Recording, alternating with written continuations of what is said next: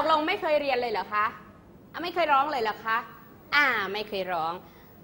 พี่หน้าล่ะ จังหวะก็เหมือนกับข้าวข้าวโพดคั่ว เหมือนกับข้าวคั่วเลย คนละป๊อกสองป๊อก คนละแป๊กสองแป๊ก เออ อันนี้เป็นเพลงจังหวะตะลุง เขาร้องว่า แล้วอ่านออกไหมเนี่ย ออกเนาะ อ่า ร้องว่า หนูจ๋า หนูทำอะไร ตกลงร้องเป็นหรือยังคะถ้าร้องไม่เป็นต้องร้องตาม ถ้าร้องเป็นร้องพร้อมกัน ตกลงจะร้องตามหรือร้อง ร้องตามอะหนูจ๋าหนูทำอะไรหนูทำยังไงอยู่กับใครและจะร้อง หนูจ๋าหนูทำประโยคนั้นมีหลายลักษณะซ้ำประโยคนั้นมีหลายลักษณะ สังเกตสิจะประโยคอะไร ซ้ำสังเกตสิจะประโยคอะไรอ้าวพร้อมกันปรบมือตามจังหวะได้หรือยังอะรือร้องร้องฟังคุณครูหนึ่งเที่ยว หนูจ๋าหนูทำอะไร หนูทำยังไงอยู่กับใครละจ๊ะประโยคนั้นมีหลายลักษณะ ประโยคนั้นมีหลายลักษณะ สังเกตสิจะประโยคอะไร สังเกตสิจะประโยคอะไรอ้าวได้ไหมคะ พร้อมกันทั่วประเทศหนึ่งสองสามหนูจ๋าหนูทำอะไร หนูทำยังไงอยู่กับใครละจ๊ะ ประโยคนั้นมีหลายลักษณะ ประโยคนั้นมีหลายลักษณะ สังเกตสิจะประโยคอะไร สังเกตสิจะประโยคอะไร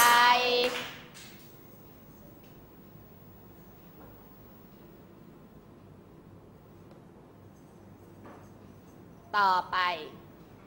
เป็นประโยคหนูชอบเล่นขายของอ่าเดี๋ยวบอกก่อนข้างหน้าวงเล็บเนี่ยยอผู้หญิงคือย่อมาจากผู้หญิง ชอช้างย่อมาจากผู้ชาย ครูก็เป็นคุณครู อ่า ใหม่ค่ะ หนูชอบเล่นขายของผมไม่ลองอีกแล้ว คุณครูจิมมี่รับกริตติชัยด้วยนะคะ กริตติชัยกำลังกลับไปหาคุณครูค่ะ ใครส่งเสียงแจวแจวประโยคที่แล้วประโยคอะไร ประโยคที่แล้วประโยคอะไร อะไร ประโยคที่แล้วประโยคอะไรอะไรอ่าไม่ใช่อะไรอะไรอยู่นั่นละอ่าอ้าวฟังคุณครู หนูชอบเล่นขายของ ผมไม่ลองอีกแล้ว ใครส่งเสียงแจวแจวประโยคที่แล้วประโยคอะไร ประโยคที่แล้วประโยคอะไร แค่นี้เองปรบมือดีๆนะคะ เอาใหม่ค่ะ พร้อมกันทั่วประเทศ 1 2 3 หนูชอบเล่นขายของ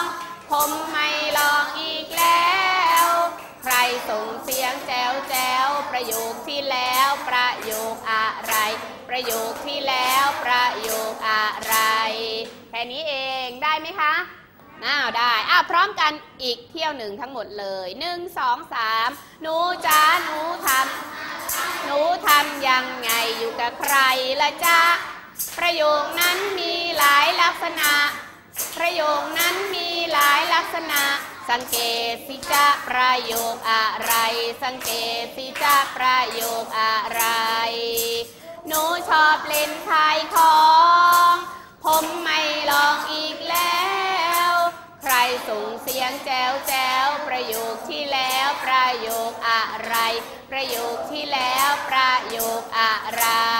อ้าแค่นี้เอง ตอนนี้มาร้องพร้อมกันอีกครั้งหนึ่งกับจังหวะ ตอนนี้ปรบจังหวะได้ไหมคะ ได้นะ คุณครูไม่ทานข้าวโพดคั่วหรืออะไรทั้งหลายไม่เอา ประโยคต่างๆ อ่า พร้อม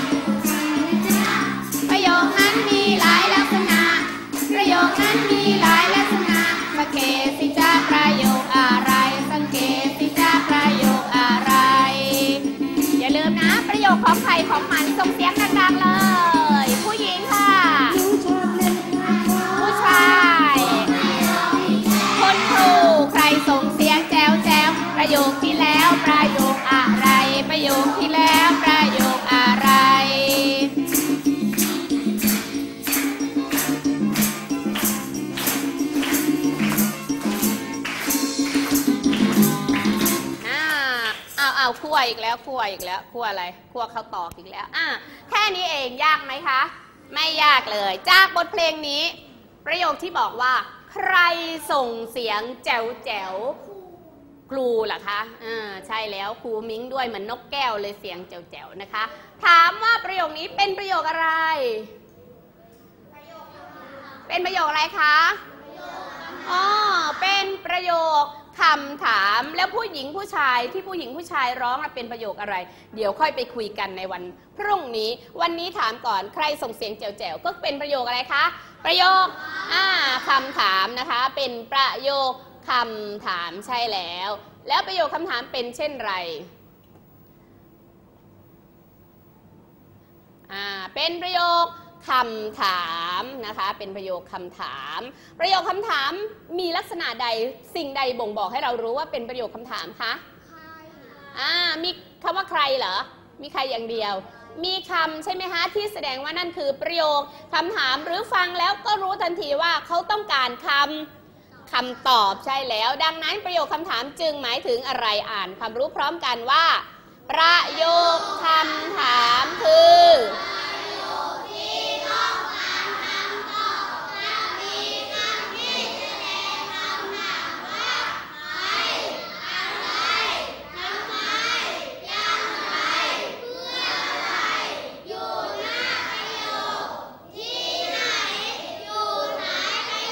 อืมเก่งมากเห็นไหม ก็จะมีประโยคคำถามก็คือประโยคที่ต้องการคำตอบนะคะเขาถามแล้วถ้าไม่มีคนตอบแสดงว่าไม่เข้าใจคำถาม หรือสื่อสารกันไม่เข้าใจ หรืออาจจะเกิดความผิดพลาดอะไรขึ้น ระบบทางจิตใจหรือเปล่า ฉันไม่อยากตอบไม่ต้องมาถามใช่ไหมคะอ่าแต่ว่าในประโยคคำถามนั้นจะมีคำที่แสดงให้รู้ว่า นี่แหละคือประโยคคำถามก็คือคำว่า ใครคำว่าอะไรคำว่าทำไมคำว่าอย่างไร และคำว่าเมื่อไรคำเหล่านี้จะอยู่คำว่าเมื่อไรจะอยู่หน้าประโยคหรือท้ายประโยคก็ได้ แต่คำว่าที่ไหนต้องอยู่ท้ายประโยคอ้าวใครตั้งคำถามประโยคคำถามไม่เป็นบ้าง มีไหม ไม่มี อะ ถ้ามองเห็นครูมิงยกตัวอย่าง อ่า เห็นครูมิ้ง ใครจะถามว่าอะไรดี ลองตั้งคำถามให้ครูสักคำถามอ่าวันนี้เจอหน้าครูมิงไม่มี อ่าพงสพักเก่งมากค่ะ พงสพักพงศพักอยู่ตรงนั้นก็ได้ครับลูกอ้าวส่งไม้ให้เพื่อน พงศพักเจอหน้าครูมิงคนคนฉลวยอ่าใครอยู่ข้างในฮะใครอยู่ข้างใน ใครอยู่ข้างใน ในใจครูมิ้งอะเหรอครูมิ้งนี่แสดงว่าสื่อสารไม่เข้าใจ ครูมิ้งบอกว่าพงศพักเจอหน้าครูมิ้งปั๊บครูมิ้งให้พงศพักถามอะไรก็ได้เมื่อเจอหน้าครูมิ้ง ใครอยู่ข้างใน ไม่ได้มีไม่ได้ตั้งท้องไม่มีน้องแล้ว ไม่มีใครเลย มีแต่ไส้อ่าใช่ไหมอยู่ๆก็เจอหน้า ใครอยู่ข้างใน เออ ใครอยู่ข้างใน แล้วฉันจะตอบยังไงฮะ ไม่มีไม่ได้ซ่อนใครไว้เลย อะ ถามใหม่อีกครั้ง เจอหน้าคุณครูแล้วก็ถามว่าไงลูก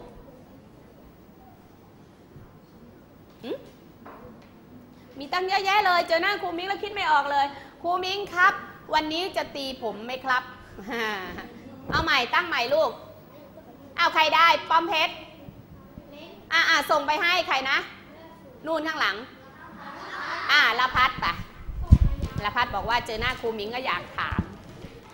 ครูกินยาครูกินข้าวหรือยังครับเดี๋ยวเดี๋ยวเดี๋ยวเดี๋ยวเดี๋ยวเอาใหม่ค่ะ ครูกินข้าวหรือยังครับ ครูกินข้าวหรือยังครับ ขอกินเป็นทานได้ไหมคะ เป็นคุณครู ทานข้าวหรือยังครับครูมิงคุณก็ถามว่ายังไม่ทานครับอ่าได้ไหมคะ เห็นไหมต้องการคำตอบ หรือไม่ก็ตอบว่ายังไม่ทานอ้าวประมือให้ละพัดหน่อย ใครอีกใครอยากถามอะนัทสิทธิ์นัทสิทธิ์อืมเจอหน้าครูมิงอ่านัทสิทธิ์บอกว่ายังครับ นัทสิทธิ์ถามครูมิงว่า ครูมิงสวยจังครับ ดิฉันก็ได้แต่ยิ้ม เพราะไม่รู้จะตอบว่าอย่างไร แล้วมันเป็นคำถามไหมคะเนี่ย เป็นไหมไม่ใช่ครูมิ้งสวยจังครับใช่ไหมตะกี้พูดอย่างนี้ใช่ไหมคะอันนี้เป็นประโยคอะไรลูก ประโยคที่บอกครูใช่ไหมเอออยากบอกครูว่าครูมิ้งสวยจังครับ ครูมิ้งก็ตอบไม่ได้เป็นลมบึกเลย เพราะว่าไม่สวยจริงอะถามใหม่ถามใหม่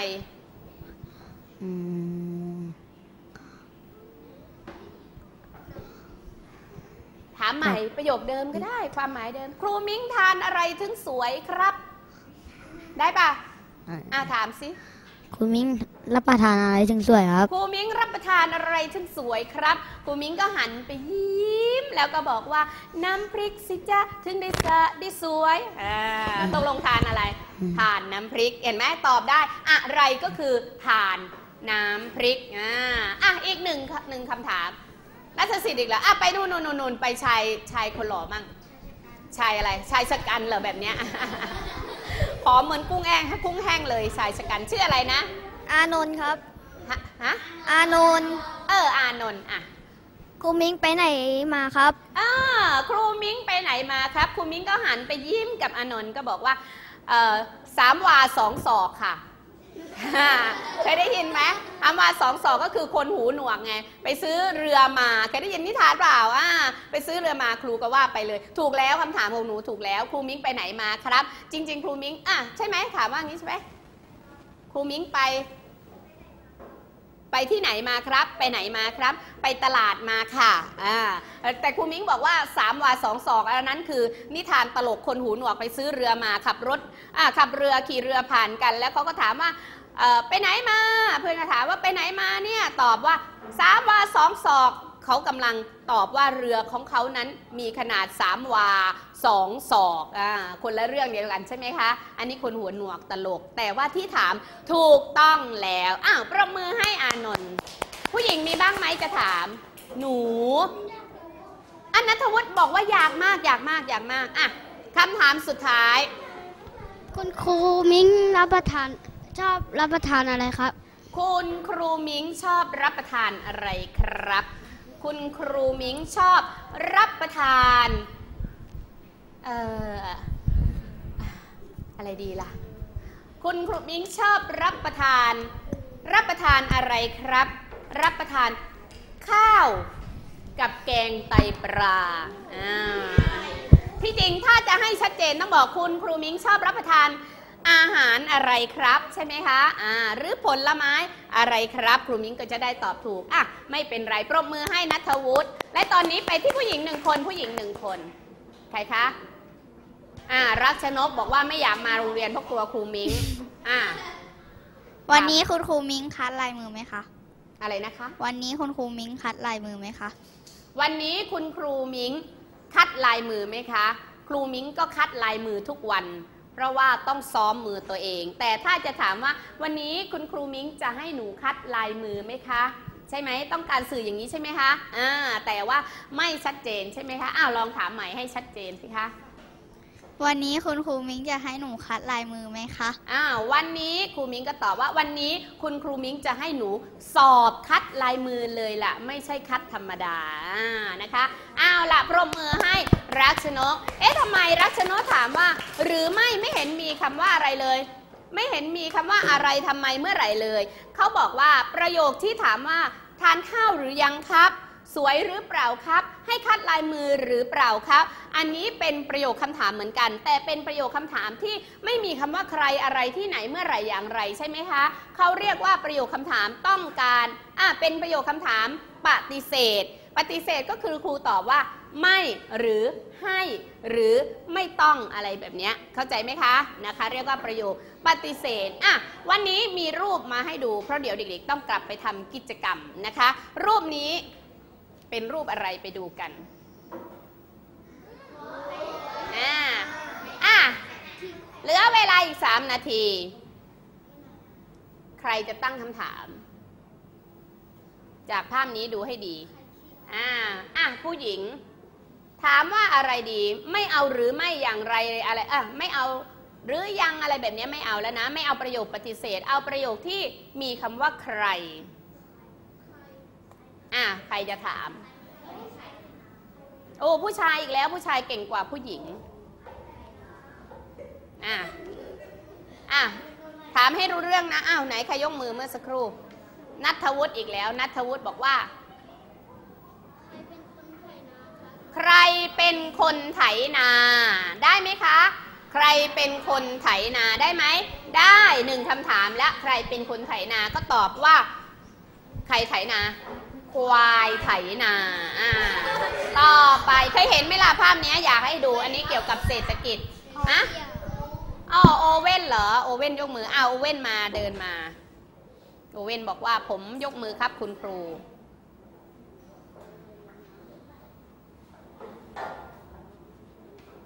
ถามว่า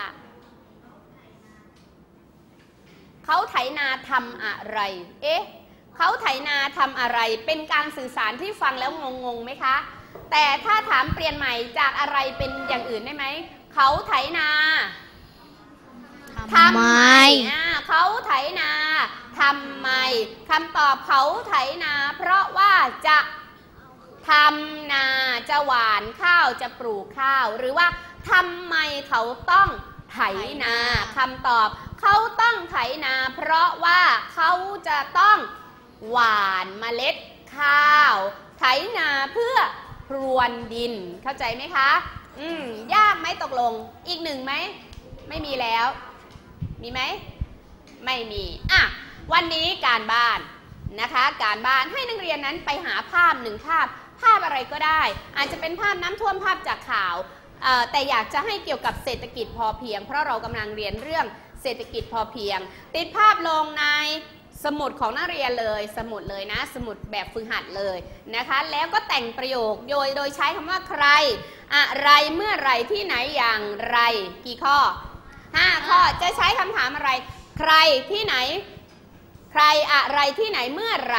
อย่างไร 5 ข้อ ลงในประโยค 1 ภาพแต่งมาเลย 5 ข้อถามได้นะคะ 1 ภาพ 5คำถามค่ะค่ะ มีอะไรสงสัยอีกไหมคะ ไม่มีอย่าลืมการใช้ การสื่อสารนั้นนะคะ ถ้าสื่อสารกันแบบไม่แน่ใจว่าคำพูดที่พูดนั้นถูกต้องหรือไม่นะคะก็จะทำให้ความหมายการสื่อสารนั้นผิดเพี้ยนไป การที่จะสื่อสารให้ดี หัดฟังหัดพูด หัดอ่าน แล้วเราจะเป็นคนที่สื่อสารได้ชัดเจนถูกต้อง สวัสดีค่ะ